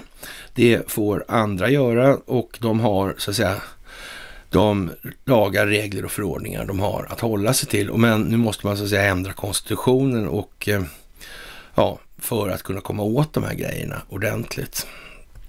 Det är mycket dramatiskt helt enkelt. När eh, den här Mike Lindell besöker Vita huset så, ja, han eh, blir fotograferad och de ser ju det och, och Eh, ja, det är opinionsbildning helt enkelt. Och det är väl ingen snack om att han har en teknisk, antingen har han den här tekniska bevisningen, så har han den inte. Och har han den tekniska bevisningen med, från servrarna och så här, utskrifter och så vidare, ja, då är väl det kanske ganska bra att tillhandahålla till eventuella domstolar. Eller föra in i ja, de, de, de domstolar som ska handlägga då, så att säga, processer i anslutning till det här. Det skulle man ju kunna tänka sig. Nu vet hela världen att de där finns. Och det var väl själva poängen med hans utspel i det här. Men det var ju inte så att de tillkom dagen, samma dag. Det var ju inte det. Och eh, det här med förräderierna alltså, det är ganska så speciellt alltså. Och det här med yttrandefriheten då kan man väl säga när det kommer till nätet och de här servrarna på Amazon. Och då kan man väl säga så här att det finns ju någonting som heter då Network Society och där är ju Ericsson världsledande. Det står till och med på deras hemsida och det är ännu värre dessutom, för det står dessutom på Amazons hemsida att det är så. Det är liksom Ericsson som håller i det där. Och det kanske man inte skulle glömma. Möjligen kan det vara så att Donald Trump, eller någon åtminstone i anslutning till Donald Trump, har klarat av att titta Titta på de hemsidorna och se vad det står åtminstone i de sammanhangen. Det borde de ha gjort eftersom Ericsson ändå anses vara ett nationellt säkerhetsintresse. Så borde det faktiskt vara så. Och om de här lökarna dessutom har hand om ja, tv-sändningarna i England då, då, via det här Redby, sitter i ledningen på Alibaba, har bolag ihop med kinesiska kommunistiska partiet och så vidare. Men då har inte de missat det, alltså det finns ju inte på en karta. Det händer inte helt enkelt. Det får man vara jättenaiv om man tror faktiskt. Det är jättespeciellt när Mike Pence säger att han, så att säga, han uppmanar inkommande administrationen att för att så stanna på kursen, hålla kursen då. När det gäller då Kina, eller kinesisk aggression och handelsövergrepp då. då. Ja, man kan väl säga så här när det gäller stölder av immateriell egendom så verkar det ju vara så att man är otroligt rädd för att kineserna och Huawei ska hålla på med det här. Och om vi då kopplar tillbaka till vad jag just sa innan här med Jack Ma och ja, Panda Electronics och de här grejerna. Vem är det egentligen som har snott de här grejerna då? Det kan man ju undra. Och varför är då Börje Ekholm och de här så pigga på att man ska vara snälla mot Kina nu för? Ja, de är nog rätt säkra på att åka ur USA faktiskt. Det är nog så. Det kan man nog utgå ifrån. Men eh, jag tror faktiskt de är lika säkra på att åka ut någon annanstans ifrån också. Och Ryssland kan de nog inte räkna med sen. Nej, så är det nog inte. Och eh, ja, när det gäller då den här impeachmentsprocessen så kan man ju säga så här, den ska gå igenom med två tredjedels majoritet i senaten och det, det verkar i alla fall svårt kan jag säga. Det verkar otroligt svårt. Men eh, okej okay då, fine. Om vi skulle säga att den går igenom då, så är det fortfarande så här då att det är precis som med det här med Dominion, som nu stämmer då ett antal journalister och jurister för då i förtal. Och då så att säga, det enda sättet att bevisa att det här inte är förtal, det är ju att bevisa att det förekommit valfusk då med Dominion inblandat. Så det säkraste sättet att sänka Dominion för tid och evighet är att göra just som Dominion gör nu att skaffa sig ett antal man stämmer ett antal sådana här människor som är välbemedlade och som dessutom kan lätt skaffa medel för att driva processer. Och det här kommer käka upp Dominion hur säkert som helst samtidigt som det kommer exponera vad som har förevarit. Det är precis samma sak med den här impeachmentshistorien. Det enda som det möjligtvis skulle kunna leda till då vi säger då att det blir två tredjedelars majoritet i senaten, vilket förefaller helt otroligt konstigt om det skulle kunna bli så att det var så köpt. Men, men, men, men, osvuret är bäst, så i, den läget, i det läget i alla fall. Ja, men vi säger så i alla fall, det blir det. Då är det fortfarande så här, i just det fallet, det är samma sak. Så här, det är ju som Rudi Galliani, han tar ju den direkt. Han bara säger, nej men det enda sättet att bevisa att det här liksom är, ja, fel det är ju att bevisa att det förekommer valfusk. Att, jag haft, att Donald Trump har haft rätt. Det är ju vad det är. Det är ju själva fundamentet i det här. Så, så ja, hur de än vrider och vänder på den där delen så kommer de ingen vart i det. Faktiskt. Och eh, det blir ju inte sådär skitmycket bättre då när man, om man tänker sig Joe Bidens team då som han ska ha. Det har vi återkommande anfört att det här ser, det ser inte alls rimligt ut på det viset. Att det här, är, det här fyller ett helt annat syfte. Han har ju lyckats med konststycket nu att plocka in de här människorna. Alltså, alltså, de får John Bolton att framstå som trovärdiga liksom. Det, det är så. Och han, ändå spelar han bara teater. Skillnaden här det är till exempel att Victoria Nuland, hon spelar inte teater på det sättet. Fuck EU-Victoria, hon delar ut bullar på Majdan där. Och hon har dessutom varit in insyltad, eller ja, det kan man väl säga. Hon är medveten om den här korruptionen som Biden har hållit på med i Ukraina. Dessutom. Ja, men det blir ju fantastiskt bra det här ju. Vad kan möjligen gå fel? Naturligtvis ingenting. Och inget att se här. Gå vidare bara. Ja, men som vanligt då. Och eh, det är som sagt, Donald Trump, han fick ju märkligt nog tillbaka sina konton då. Och Parler har ju som sagt väckt talan mot AVS då, Amazon Web Service som styrs av Ericsson. Och det är väl som det är. Och eh, nu har ju faktiskt lite billigt varit med, med den här Parler-historien för att det, det, var ju en, jag ska säga, det var ju nästan som man såg att det var ett skalbolag, eller säga, men ja, och, och, och, appen var väl inte kanske den mest genomarbetade heller. Så inte, alltså, det där var väl lite, men nu har i alla fall, nu har de väl kört på något lite grann, för det, det där, där vet jag fan om det skulle hålla i längden alltså. Ja, hur som helst, frågan är om det ens behövs alltså. Men Donald Trump och en rad andra har alltså fått tillbaka sina konton. Jaha. Ja, har Facebook och Twitter bytt åsikt eller? Nej, förresten, det har de inte. För Twitters vd, han var ju ute och sa att han hade ju inte bytt åsikt. Ja, för hade han bytt åsikt så hade det ju faktiskt kunnat vara så att han stod under kontroll av någon annan som ändå kontrollerade kraftförsörjningen till exempel. Stäng av strömmen för honom är uppkäftiga då. Ja, eller telekominfrastruktur och så vidare. Det, då finns det ju påtryckningsmedel av en helt annan natur. Så, förutom att då kan då hävda att de här håller på och förgriper sig på den amerikanska konstitutionen på ett sätt som inte alls är lämpligt för någon i USA. Det är, ja, när, eh, vad ska man säga, Sunday Times hamnar i blåsväder för att de eh, kallar eh, covid vaxpass för eh, frihetsbegränsande. Ja, jag vet inte. Vad ska vi säga? Nu blev det ju så. Det är rätt långt upp och sen kommer vi, vi kommer ju bara närmare ytan i det här, vad ska jag säga, det här ljuset från verkligheten bryter in i den inflektionspunkten för det här. Och ja, det tror väl någon det att eh, blir eh, den här andra dosen av det här Pfizers vaccin då, det rapporteras då ge då ansiktsparalysering i någon omfattning där. Det skulle man ju tycka. Var ju de som tar det där får väl faktiskt ta ansvaret för att de tar det själva. Ska de inte komma här och gnälla för liksom? Det är väl deras ansvar. Har de valt att ta det där vaccinet och bli paralyserade ansvar, håll käften då, då. Ja, de vet ju, läkemedelsföretagen har ju sagt att de inte bryr sig. Eller vill bry sig. Ja, och det har ju regeringen gått med på.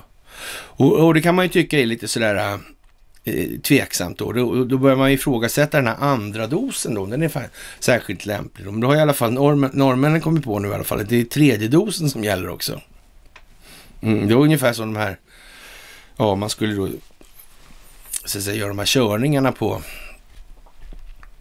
coronat då och ja, ju fler gånger man körde desto större blir sannolikheten för träff då.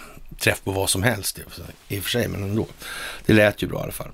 Och eh, nu är Norge uppe på tredje vaccinsprutan då. Och ja, det är... Kamala Harris ska faktiskt säga upp sin senatplats idag, sades det igår. Vi är inte sådär... Äh... Eh, ja, som sagt. Några saker är fasta i det här. Kongressen är korrumperad, det måste han göra någonting åt. Det är bara så. Du får aldrig stil på det här.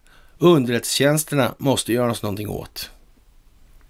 Och om de ens ska existera i den här formen och omfattningen, ytterligt tveksamt. Och det måste han ha haft klart för sig redan när han tillträdde.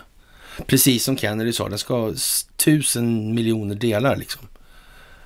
Och absolut, och hur det här växte fram, det har jag gått igenom på den här föreläsningen då i de sammanhangen. Så det känner ni ju till nu då. Och ja, den här Mike Lindell, han verkar verkar vara en så att säga engagerad lirare i alla fall, får vi säga. Och eh, den här veckan kommer ju då de här dammluckorna att öppnas. Och läser man det kontextuella eller mellan raderna här så, ja, då är det vad det är. Och det kan inte bli så mycket annat. Det finns inte mycket att hoppas på. Och eh, NSA lär enligt uppgift då säga nej till en eh, ja, chefsjurist där då, då. Och det kan ju vara så. Men som sagt, som vi sa tidigare, det kan ju bero på både det ena och det andra. det går ju inte liksom att plocka ner för mycket om man ska komma ner på djupet. Du kan inte ta bort för tydliga grejer först då. Då kommer djupet att gömma sig alldeles säkert. Det är bara så. Men det lär vi ju bli varse inom kort helt enkelt. Det är också så att eh, här i Sverige är man inte då helt borta på det. Man måste faktiskt hålla hänga med lite grann. Det blir ju skademinimering och då säger man då att kraven växer nu på politiker i USA att slå till med tuffare regleringar av techjättarna. Ja, jo, det, det är ju sådär alltså. Men, men här är vi ju inte liksom, vi är ju inte riktigt på bollen för, för att så att säga, ja, tala om vad det är egentligen eh, är för någonting. Ja, men det vore bra kanske att tala om servrar och Amazon Web Service och Ericsson som nationellt säkerhetsproblem från USA, eller för USA och USAs syn på de här kinesiska teknikföretagen och kanske till och med prata om Alibaba och att det möjligtvis har, finns det svenska intressen i Alibaba och ett par stycken dessutom. Den här Josef Tsai, han kommer ju direkt från Investor han också och ja, ingen har väl missat att Börje, e, eh, Börje Ekholm faktiskt är då vd för Ericsson och sitter i styrelsen på Investor också. Då. Och så här håller det på hela tiden. De här eh, ja, amerikanska för, eller så att säga, intressena, de tycker att eh, ja, det är ju liksom ingen idé att göra det här med Underdemokraterna för det kommer inte hända någonting. De är ju liksom förköpta och då kan man säga så här att uh, det är ju liksom en vattendelare faktiskt. Då har det hänt något där. Faktiskt. Och ja, vi har ju den här eh, älggubben höll jag på att säga, men han med hornen i Kapitolium. Som vi delade igår då. Och det är en intressant grej alltså. Ur så att säga ett analysperspektiv då, man ska säga hur det här så att säga. Varför är det här administrerat som det är då? Vad, är, vad ska skapa man för någonting med det här? Alltså vilka opinionsbildningsmässiga effekter skapas av det här och så vidare. Och då, då är det naturligtvis så att det finns en Ja, det finns ett antal så att säga, klockrena, eller klockrena, alltså lätt, mer lättkontrollerade grejer. De ligger först naturligtvis. Här, och så sen blir det mer yvigt på slutet. Så där. Men så finns det samtidigt då en, det finns lite olika aspekter på det där. Och man, man, man, ska inte helt förringa det där som sägs. Därför att det är också så här att de här jävla kvantumdatorerna de håller på de här, i de här sammanhangen. De mäter som fan många grejer alltså. Och ja, när någon ska kollas och så vidare. Det, det här är mm, rätt så avancerat alltså. Och eh, man kan tänka sig så här att det där får man ju en känsla av att det där är ju ägnat att ja, skapa logisk förbistring. Helt enkelt. Det är det. En del, en del grejer är ju riktigt yviga alltså sådär. Och kanske inte ens särskilt bra. Men det finns en hel del grejer som är bra också. På så vis. Så man ska inte avfärda allting det. Man får börja, man får ta liksom varje argument för sig i sak för att så att säga få ihop det överhuvudtaget eller för att kunna bedöma vad det är för någonting. Det är naturligtvis ett jävla väsen på de här vanliga tv-hallåorna, höll jag på att säga, i USA och eh, Ja, i och med de här avklassificeringarna då som kommer, eller har kommit nu. Och det kommer naturligtvis mer närmsta dygnen här. De kommer ju att bli ännu värre naturligtvis. Och svenska medier kommer att bli, jag ska säga, ännu mer till åtlöje i vad som nu kommer. Och eh, ja, vi, vi är inte mycket för de här, vad ska vi säga, yvigheterna som kommer. Alltså det, det, finns sakliga faktiska förhållanden i tid och rum. Det finns bolag, det finns personer. Det finns betalningsflöden, det finns alltså massa sådana här grejer. Det finns en strategisk planering. Man behöver inte hålla på och säga, alltså jag, jag är lite tveksam till det här med att det är många nu som håller på med att då jag, jag talade med mina andevägledare liksom och då, jag fick, de gav mig numret till det senaste kosmiska ljuset liksom. IP-adressen då eller, och så vidare. Så här. Det här går, alltså, man behöver inte flaxa iväg på det här viset. Alltså när människor samtycker då uppstår resonans. Då blir det i kurvorna, då blir det frekvenserna, då blir det förstärkning men man behöver inte hålla på med, med alltså segla ut i rymden allt vad det går och så vidare. Ja, han, horngubben var också ute i rymden och seglade sådär. Och, och så vitt det är känt så är det väl svårt med strålningen ändå då. I de här sammanhangen. Så det, det blir lite, ja, det blir lite som det blir alltså. Men, men, det får vara så. När det kommer till de här FISA-historierna så, ja, då kommer Obama-administrationen att få sitt nu alltså. Och det är ju naturligtvis, man kan inte ha en president då som då har tagit muter av Kina, eller sonen har tagit muter av Kina. Han själv finns insyltad och har hotat en åklagare i Ukraina och har fått pengar, överföringarna finns. Och så vidare i all oändlighet. Så där kan man inte, så går det inte att ha. Men han kände till den här historien med SEAL Team 6 och Osama bin Laden i Benghazi. Och han visste att alla de här grejerna som skedde sen med Russiagate och, och så vidare, det var till för att täcka för Hillary Clintons e-mailservrar. Där det fanns kommunikation som beskrev Uranium One-affären. Och där det fanns kinesiska energibolag som förvärvade, eller försökte eller förvärvade det här Rusatom. Som köpte det amerikanska uranet och så vidare. Nej, men alltså kom igen nu. Det här är liksom... Det är ju inte så, många, det är inte så många bitar ens till det här pusslet på det viset. The momentum in favor of secure 5G is building. Secretary of State Michael R. Pompeo. Ja, det kan man ju säga faktiskt. Och eh, ja, Control Global Telecom Networks is a critical part. Mm. Men det gäller inte Ericsson, alltså. Det gäller bara Huawei och Kina. Mm. Det kan vara så. Eller också behöver det inte bara vara så, faktiskt. Det kommer naturligtvis en skademinimeringshistoria här från vår fantastiska Säpo där. Och eh, den firman kommer förmodligen att erfara påtagliga förändringar i verksamheten med tiden här nu. Det kan vi vara helt säkra på. Och om inte vi ombesörjer det själva kan vi vara helt säkra på att andra kommer att bry sig. Så myndigheterna varnar ja, Säpo FRA då, då för ökat cy cyberspionage. Visst. Mm. Ja, och det har de aldrig hållit på med en enda gång. Man kan säga att de har ju faktiskt inte gjort någonting annat. Man får säga som Donald Trump sa en gång, Sweden who could have guessed. Sådär. Och polisen är på tårna, oroar för protesterna i övermorgon då. Och eh, ja, i svenska medier.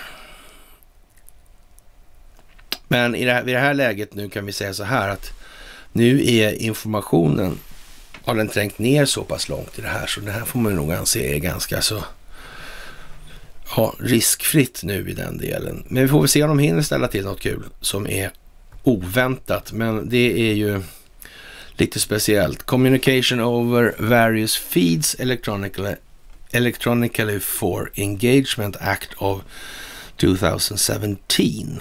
Jaha, det blev KFF det också. Mm. Men han hade inte tänkt någonting. Det bara råkade bli just det ordet liksom. Kanske, kanske inte. Alexander Navalny, han har flugit hem och han greps efter landningen och eh, ja, det var väl ingen risk att han skulle bli martyr om han hade fått gå lös på gatorna. Det hade säkert inte, ja, den djupa staten i Sverige ordnat, ordnat i alla fall. Inte alls, inte en chans. De skulle aldrig göra någonting. Han kommer sjunga. Det är ju så. Han vet att han kan inte vara någon annan för att bli mördad och skulden kommer läggas på ryssarna. Det är alldeles säkert. Och eh, sen är det ju som sagt den här frågan med att förklara hur det kunde komma sig att Sverige intygat att Navalny hade förgiftats av Novichok. Den frågan väntar ju på sin förklaring och vi kan väl säga så här, jag tror ju inte att verksamheten i Umeå till alla delar kommer se likadan ut inom en inte alltför avlägsen framtid då. Och eh, ja, vi måste så att säga stänga ner möjligheten för de här konservativa ja, opinionsbi opinionsbildarna att få så här stora publiksiffror. Ja, och det är, det är människor på YouTube som har större publik dagtid än vad CNN har. Nu behöver man ju inte ha så många människor för att ha större än CNN. Det räcker med att man har åtta så blir det ju större. Men samtidigt kan man säga så här, det är inte det det här handlar om egentligen, utan det handlar ju om att här skjuter ju CNN sig själva i sank. Så det både räcker och blir över. Det i sin, det i sin tur gör ju gällande då i alla fall att deras strategiska partners, det vill säga till exempel Expressen då, har ett lite annorlunda läge än vad de haft tidigare. Det är alltså öppet självmord man håller på med här. Och eh, ja, som sagt, det är ju ganska så tragiskt att konstatera det här ligan som rimligtvis måste lagföras i jättestor utsträckning sitter i den här tilltänkta Biden ja, administrationen. Och det, det, kan vi väl säga så här att det skulle ha något annat syfte än att just samla ihop dem. och man skulle väl nästan kunna säga så här alltså. Det kan ju vara bra att ha dem på ett och samma ställe vid en given tidpunkt, skulle man ju kunna tänka sig. Nu är inte jag säker på att det var det bästa jag skulle sagt just nu, men det var i alla fall en tanke som man, det kan ju alla få sådär. Så det var inte med med den saken. Och eh, ja, jag vet inte. Det börjar lukta när USA tar bort sådana här, eller gör undantag för att samarbeta med Huawei. Och det innebär då i sin tur, lite lustigt så här i kombination då, man ser så här vad som händer parallellt och så här. Så är det så här att europeiska företag upplever då liksom att de får en massa begränsningar på sig och gör de inte som de här begränsningarna säger då, då kommer det här att drabba de länderna där de håller till då, eller har sina säten då. Och, och det är ju inte så, så trevligt kanske, men och det blir liksom lite värre då när USA gör undantag för sina egna företag som fyller det tomrum som blir när europeiska företag inte får hålla på där. Det är ju lite konstigt. Och sen vänder man på det här och tittar på andra hållet. Sen. Och man vet ju då att Kina, ja, eller rättare sagt så här, Ericsson har mer in, eller investerat i Kina än vad Kina har i hela Sverige. Så. Och eh, ja, det är ju lite sådär anmärkningsvärt kan man ju säga. Och sen har vi ABB och de här grejerna ovanpå det. Ja, det kan man ju säga är lite udda. Och sen har vi då Alibaba och Panda alltså och så vidare. Så. Men det blir ju lite sådär tråkigt när europeiska bolag får inte, amerikana, amerikanska bolag tillåts. Och sen samtidigt så höjer Kina och den, alltså tillverkningen för Ericsson, de här, ligger i Kina till stora delar då. Sen höjer Kina transporttarifferna för containrar med ett antal hundra procent. Och jag minns rätt då från 17 000 dollar till 75 000 dollar eller sådär, per 40-fotare. Ja, det blir ju liksom inte alls samma grej. Man skulle kunna tänka, det ser ut som en koordinerad tanke det här. Faktiskt. Det är nästan som man inte kan undvika att se det här har man ju tänkt ut liksom. Det hade ju inte bara blivit sådär annars eller? Glöm det. Ja, men nu får man inte säga så, för då blir Kent Werner sur. Ja, då gör vi det i alla fall då. då. Och eh, ja, tråkig historia faktiskt. Börje och bryggan ja. Börjebryggan. Det är något att ha det. Den flyter överallt nästan. Mm. Donald Trumps framgångar som president, fredsavtal och uppfyllda vallöften, säger Expressen. Och säger det första positiva de någonsin har sagt om Donald Trump. Just i det här läget. Just nu. Men då har vi andra sidan Kadhammar. Och det är lite halvtråkigt det där. Det är faktiskt så att Bonnier och Expressen är liksom rätt så nära då sådär. Dagens Industri och Svenska Dagbladet är rätt så nära och sen är de alla under samma paraply som vanligt. Men ja, ni får tänka lite på vad fan är det där för något egentligen. Och eh, underlivsporslinsfamiljen, den har ju haft fingrarna i både här och var och eh, ja, det är väl inte så mycket att snacka om när det är så att säga utrett så här långt. Man säger ju det att det finns mycket kvar att göra i det här utredningsarbetet. Men det räcker så här långt för att konstatera att det här var inget bra alls. Och eh, den kinesiska inblandningen är alltså inte ringa enligt John Ratcliffe och de har verkligen försökt påverka valet och så vidare och så vidare. Det är ingenting att prata om. Det är mycket speciellt i alla eller ur alla perspektiv eftersom vi kommer tillbaka till en och samma punkt nu. Och eh, när det skrivs så här, Jack Mas försvinnande gör kinesiska aktier till riskfyllda investeringar. Då kan vi ju säga så här, då är de investeringar som är gjorda i Kina, de kan vi nog nästan betrakta som på väg att flytta ut helt enkelt. Och så kommer det ju bli i det här. Och vilka vi pratar om, de som har fler än vad de kinesiska var någon annanstans. Till exempel, det blir ett par stycken sådana där. Det är, ja, nytt, så att säga, med eh, ny CDU-ledare då. Det är också sådana här krisställen naturligtvis och hur mycket som det har hållits på i Tyskland, det kan man ju inte ens föreställa sig knappt med avseende på den här historien om hur framväxten av det här skedde och här har vi då hela gänget då i grund och botten Reinhard Gehlen och hela det här med Ternberg och så vidare. Det här är liksom, det blev aldrig bra. Nu kommer det att bli bra. Helt enkelt. Och eh, ja, han är väl inte sådär jätteroad. Han tycker ju den här Armin Laschet då, han eh, tycker väl att när det gäller John Kerry till exempel, som ändå tänkte, han tänkte ju faktiskt ändå vända i Syrien. Och, och det minns vi då vid det här mötet med eh, Stefan Löfven när han säger då we're not drunk yet, Mr States Secretary Kennedy då liksom och mer eller mindre hotar honom öppet då. då omskrivet. Hur som helst, han tycker att Joe Biden stödde Isis och al-Nusra mot president Assad i Syrien. Och eh, de här är finansierade av Qatar och Saudiarabien i de tidigare omfattningarna då. Ja, visst. Och sen visade det sig då att Obama-administrationen har finansierat al-Qaida.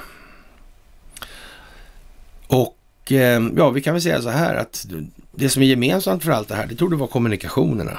Det kan man ju säga. Och där lär inte svenska intressen komma undan den här gången. I alla fall. Det är givetvis bra att konstatera att Donald Trump har något överväldigande stöd i Republikanska partiet. Det kommer vara viktigt inför vad som kommer nu. Han måste rensa det Republikanska partiet också. Det är ju liksom inte utan korruption såklart. Och ni har ju alla sett när svenska politiker drar en lans för att rensa korruptionen i de egna leden. Det händer ju alltid. Eh, det händer lika ofta som eh, Finansinspektionen och Ekobrottsmyndigheten får fast banker för oegentligheter. Det är Stockholms byråkratisk frekvens skulle man kunna säga på ertappande processen. Helt enkelt. Och eh, som en överraskning för eh, hela världen så kan vi väl eh, säga då att eh, som vi sa nyss faktiskt den här eh, administrationen som kommer är ju lite speciellt. Och eh, ja, Bidens rådgivare då, han tycker att Navalny måste släppas. Ja, det är ju så. Ja, och när det gällde Navalnys så... Ja, Sullivan heter han då. Kremls attack mot herr Navalny är inte bara ett övergrepp mot mänskliga rättigheter utan också ett hån mot ryska folkets rätt att få sina röster hörda, fortsätter Sullivan då så här. EU-länderna Estland, Lettland och Litauen krävde snabbt efter gripandet att restriktiva åtgärder införs mot Ryssland. Jag känner igen det här va. Och England och Sverige. Analysera, och Frankrike analysera Novichok. Ja, men eh, vi säger väl det. Och Ann Linde, hon tycker naturligtvis att eh, hon är djupt bekymrad över nyheten om Alexa, Alexej Alexej Navalny har gripits när han återvänder till Moskva uppmanar de ryska myndigheterna att släppa herr Navalny. En hälsosam och levande opposition bör välkomnas, skriver Linde på Twitter. Ja, vi får väl hoppas att... Jag vet inte vad vi ska göra med Ann Linde. Alltså hon får väl... Det, det, det, där vet jag inte. Det verkar inte riktigt riktigt helt enkelt.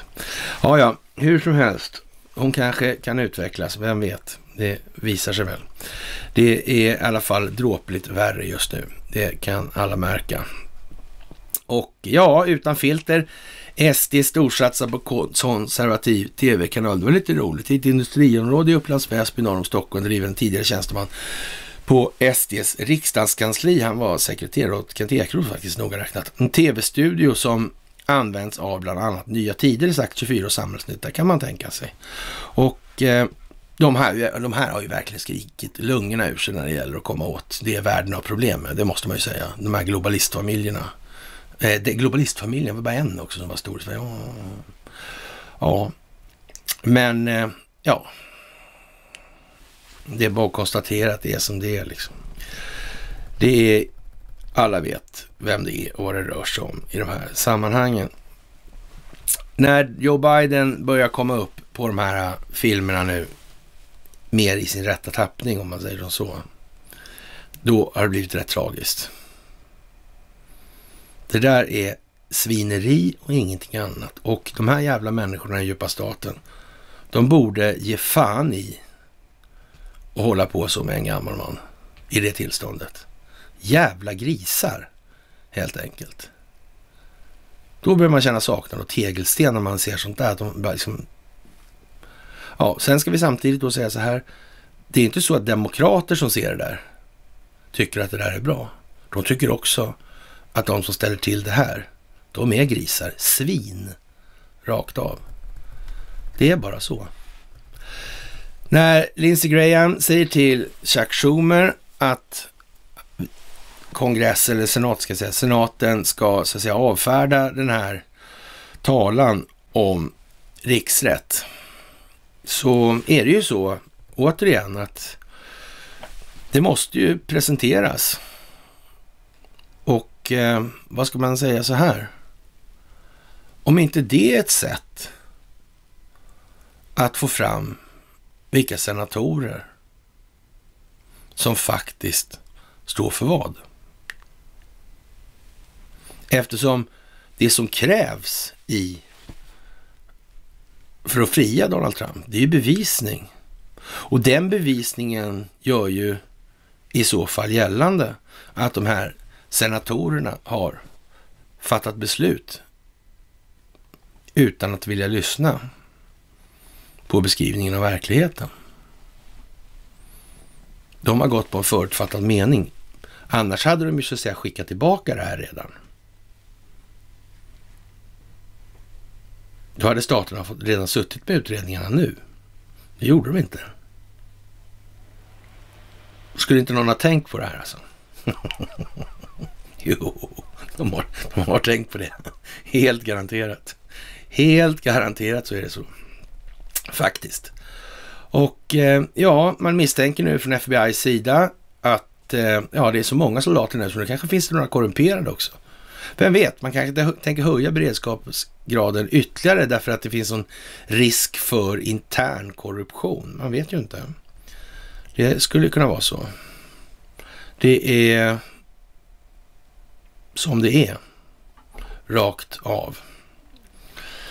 När eh, många av de här kändisarna uttalar sig, eller vad ska man säga, ja, internetkändisarna i alla fall, så är det ju som sagt som jag håller fram hela tiden, det som saknas i botten i det här.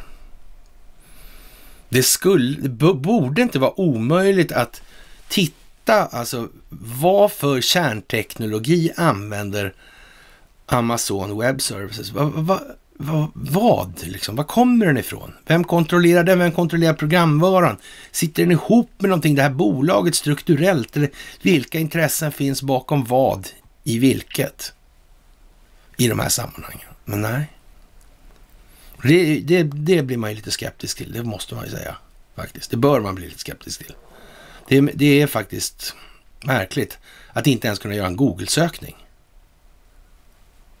Men det är möjligt att det, det är tesagt alltså från så att säga bestämt håll. Att det ska inte hållas på och sladdras om det där.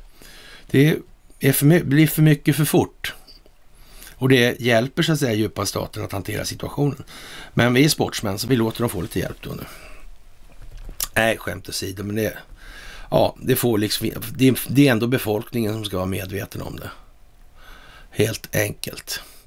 Och eh, ja, vad tror man om Rudi Giljanis Giulianis göranden och eh, låtanden om han ska hand om försvaret för att bevisa att det har förekommit valfusk och eh, ja, vad säger Victoria Nuland om till exempel Joe Bidens verksamhet i Ukraina? Den är hon ju inblandad själv i, så det måste hon ju något att säga om, helt enkelt. Vad finns det för dokumentation till de här sammanhangen? Vilken, vilken av dokument, eller hur stor, vilka delar av den dokumentationen ska jag säga, kände hon till i det här tillfället? Finns det inspelat? Minns hon någonting om det här, om det finns inspelat? Jag menar, hon har ju blivit inspelad förut i alla fall. Det kan ju alla vara med överens om. Det är i alla fall uppenbart att hon brukar... Hon, det, hon har blivit avlyssnad förr om man säger som så. Då. Det var ju klart. Eh, kan det vara fler tillfällen hon håller på att sladdra sådär? Ja, men då kan, säga så här, då kan man säga så här. Det kan väl i alla fall inte helt uteslutas i det här läget. Det verkar ju ja, jättekonstigt helt enkelt. Och som sagt, vi eh, konstaterar att Donald Trump, han vet om de här sakerna vi pratar om med AVS, Alibaba, Börje Ekholm, Ericsson och så vidare. Och det vet utrikesminister Mike Pompeo också och en massa andra människor i de här teamen runt Trump. Det är bara så. Och han måste ha haft en planering för det som är nu. Det finns ingen som helst trovärdighet i att påstå någonting annat. Så det är bara att ta det lugnt i den delen. Man behöver inte vara rädd för det här. Det, det, finns ingen rimlig chans till att det här skulle vara något annat än vad det är när man resonerar kring det. Det duger inte bara att säga att de hittar på något. Nej. Då måste man veta varför de hittar på någonting och hur det ska vara. Det går inte bara att säga, men då flyger de iväg därifrån. De kan inte flyga. De har inga vingar. Trump planerar hundra benådningar. Är det någon chans man tror att det finns någon som kommer att snacka av de här hundra? Men skulle man kunna tänka sig att de här Blackwater-gubbarna kanske har plockat ut djupa staten-folk och att Donald Trump har använt herr Prince företag för att ställa till förtret också. Och de här har så att säga spelat spelet. Det här spelet kan inte bara, alltså när han tillträdde som president, då måste planeringen vara färdig. Det kan vara detaljer i så att säga själva förloppen någonstans i ytterkant. De kan möjligtvis vara lite oklara, men det får inte vara så mycket mer heller. Det här måste vara liksom genomarbetat. Det måste finnas en dokumentation på det här som är imponerande helt enkelt. Det är bara så. Den är naturligtvis inte offentlig och det, den, de är inte så intresserade av att man så att säga berättar vad det möjligtvis kan innehålla. En annan kul grej, det är den här Hornmannen igen då. Han, eh, ja, ja det, det är lite coolt alltså. Det är några sådana här grejer som, nu dyker Hornmannen upp igen då. och den här gången har han, ja, då mm, lite sladder om, om satanister och det här då. då. Och så vidare då. Egennytta är liksom, ja, vad ska man säga? Taskig moralisk kompass. Taskig känslomässig kompass då. Och och så vidare, de här egennytta grejerna. Det är ju vad det är liksom. Du behöver inte blanda in något jävla religiöst skit i det där liksom. Det, det, det, är, ju, det är ju samma sak ändå liksom. Det kan finnas utan satanism. Ja, men utan religion så, vad, vad, vad är satanism då? då? Ja, det är bara någon, den här konstiga språkliga kulisser som de håller på med. Hur som helst, den här hornmannen helt plötsligt så rycker han upp sig där, nyktrar till, och, och kommer på liksom att det här med kristendomen, det, det, är ju liksom, det har ju att göra med det här som hände i Nicaea 325 efter Kristus där med Athanasium, Athanasius och, Konstantin där och från, från, jag har dragit det flera gånger då, med, från då kristendomens godkännande 313 efter Kristus där och sen här med Athanasius, han införde ju jultomten där med Sankt Nikolaus som en helgon förklara honom och sen den heliga trefaldigheten och de här grejerna och sen hela grejen var ju det där med att Jesus var då eh, enligt Arius då det som var arianska krigen då. Arius ansåg ju liksom att Jesus var en människa som alla andra då. då så en del av Gud, Gud är allt, allt är ett då, då så här. Och eh, Ja, men det, det, blev ju inte så bra maktmedel av det helt enkelt. Det var ju det som var. Och där kidnappade då Konstantin och Athanasius kristendomen. Och sen har det ju varit på det viset. Det har ju liksom inte varit något annat. Så, så man, man kan väl säga så här att kristendomen har ju, hade då, då i alla fall, eller så att säga två huvudinriktningar kan man kalla det för. Där den ena delen då ansåg då att ja, Jesus är en del av alltet som alla människor då. Och den andra delen då att det var ett mytologiskt väsen då. Som, eh, ja det var till det är Fader, Son och Helige Ande då. Och eh, det var ju uppenbart då att in, det var ena höll, innehöll indelningen, det andra gjorde det inte. Så, och sen får man väl tänka efter, vad kan det här vara, Varför anledning då som låg bakom det här då? Och det är ju en sån grej som man kanske skulle tänka lite på mer oftare. Mike Pompeo, han har väl eh, rätt så mycket att stå i just nu kan man tänka sig. Men nu börjar han presentera bilder då på folk som har varit med i de här teamen då och tacka för det som har varit och det innebär ju att då är ju så att säga den fasen av det här spelet över. Och det är ju värt att notera då kan jag tycka i alla fall. Och eh, han twittrar på där och eh, ja, när han skriver då Peking och sätter inom så halvcitationstecken då, det är, ja, då är det vad det är. Han kanske menar att det, Peking bestämmer inte. Eller, ja, och samtidigt så fjäskar Börje Ekholm och Jacob Wallenberg som fan då för Kina. Och vill att Huawei ska komma in i Sverige. Men se, det går inte. Det går inte. Och som sagt, det är roligt att se när andra sådana här figurer som håller på som vi gör i USA faktiskt använder samma uttryck numera och tycker att det konvergerar och går ihop och så här. Och ja, men som sagt, det är dilemmat det är ju det här med ja, så att säga, man, är man svensk så har man lätt att förstå det här med Börje Ekholm och Alibaba och, och, och, jag är, vad ska man säga, ni kan, om ni tar då de tio skarpaste som ni tycker, de här amerikanerna, så tänker ni bara den tanken då, hur många av dem tror ni har aning om att Börje Ekholm är direktör i Alibaba? Hur många av de här tror det är Kinas största varumärke, alltså Kinas största varumärke är det här, den största ekonomin då? Ja, eller om det är skitsamma, men i stor ekonomi då. Ja, en av världens två största. Ja, och då har man det största varumärket i det landet. Och hur många människor av de här analytikerna, men ta topp 10 då. Hur många känner ens till att Josef Tsai och Börje Ekholm är liksom Investor så här. Och Investor har bolag ihop med kinesiska kommunistpartiet och Investor, eller så säga Ericsson, är och där Börje Ekholm är VD, är ett nationellt säkerhetsintresse för USA. Jag menar, man kan säga att analysen blir lite missriktad. Slutsatserna blir lite tokiga. Det finns ingen anledning att tro att man inte hade begripit det här när man började med hela projektet. Fan, det måste man ju ha begripit. Hur fan, hur fan ska man ens kunna ta sig an det här annars?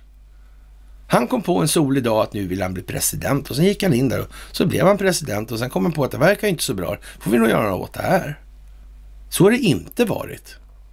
Garanterat inte. Det, det är bara så.